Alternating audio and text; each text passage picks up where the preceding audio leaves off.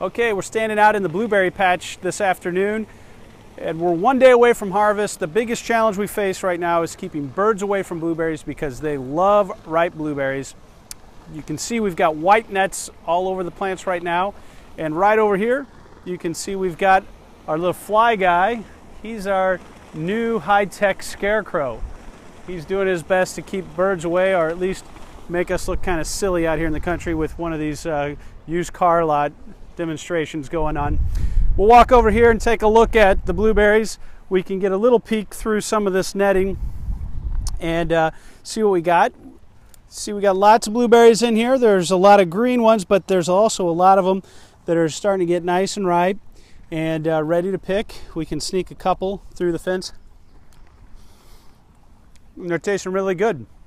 So, right now, I think we're feeling pretty good about our blueberry harvest that's going to start uh, tomorrow. And as long as we can keep the birds away, I think we'll have blueberries for two or three weeks. Uh, just pick your own though. Looks like a, looks like a, a good year for the blueberries.